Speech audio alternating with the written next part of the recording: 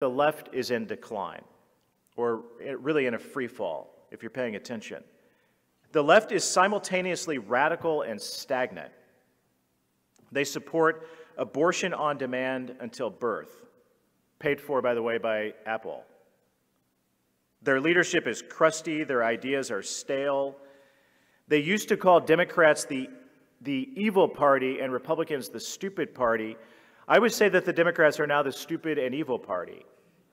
They are incapable of responsible governance, and that is making them unelectable. We just entered the first recession in history that's been caused by government spending.